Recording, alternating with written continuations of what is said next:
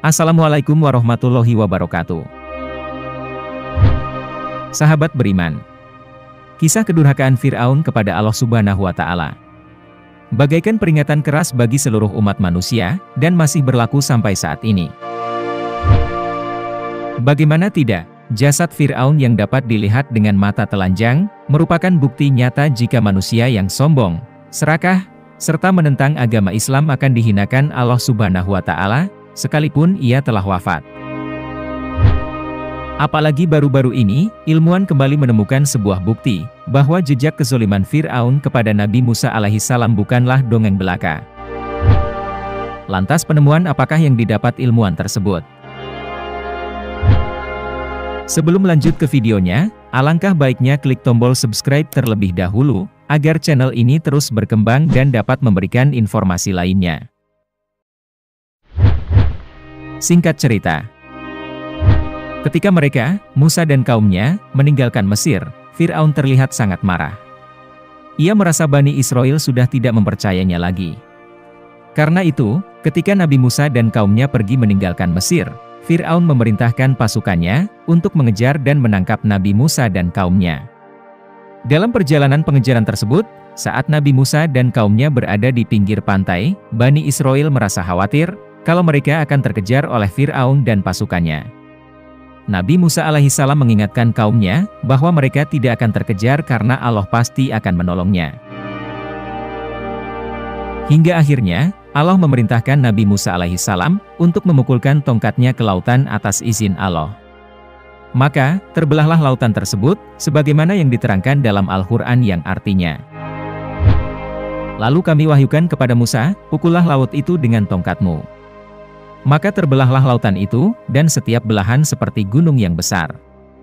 Al-Quran Surah As-Su'ara, ayat 63 Kemudian, Nabi Musa dan kaumnya menyeberangi lautan tersebut, hingga tiba di seberangnya. Sementara itu, Fir'aun dan pasukannya sedang berada di tengah-tengah lautan.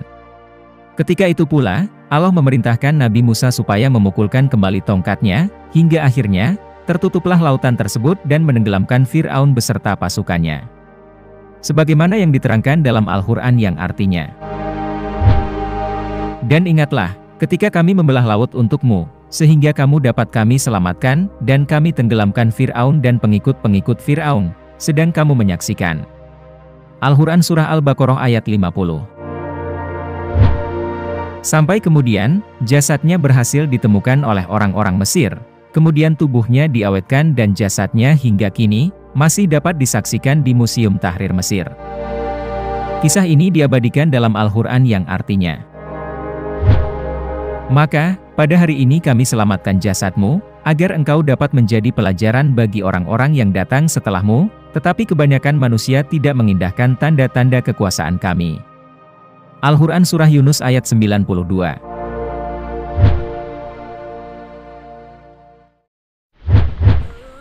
Penemuan roda kereta Fir'aun di Laut Merah Dugaan dan penafsiran yang makin menguatkan penemuan jasad Fir'aun dan peristiwa yang menimpanya di Laut Merah itu adalah dengan ditemukannya roda kereta Fir'aun di laut tersebut. Seorang arkeolog bernama Ron Wyatt, melalui situsnya, pada akhir tahun 1988 silam, mengklaim bahwa dirinya telah menemukan beberapa bangkai roda kereta tempur kuno di dasar Laut Merah. Menurut Wiyat, benda-benda tersebut kemungkinan merupakan bangkai kereta tempur Fir'aun yang tenggelam di lautan ketika ia dan pasukannya mengejar Nabi Musa bersama para pengikutnya. Wiyat menyatakan, selain menemukan beberapa bangkai roda kereta tempur berkuda, bersama timnya, ia juga menemukan beberapa tulang manusia dan tulang kuda di tempat yang sama. Temuan ini makin memperkuat dugaan kebenaran tenggelamnya Fir'aun bersama bala tentaranya di Laut Merah.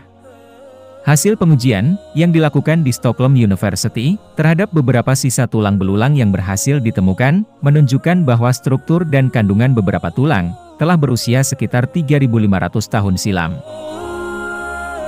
Selain itu, Wiyat juga menemukan sejumlah poros roda dari salah satu kereta kuda tersebut, dan sebuah roda dengan empat buah jeruji yang terbuat dari emas.